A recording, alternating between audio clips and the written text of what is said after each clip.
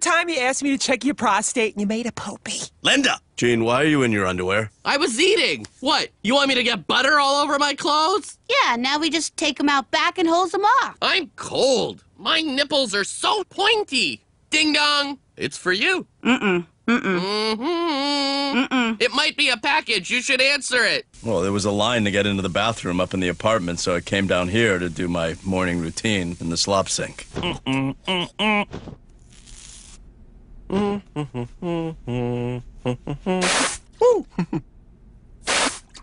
My face is sweaty. Gene, take that off. Never! Oh! Ah!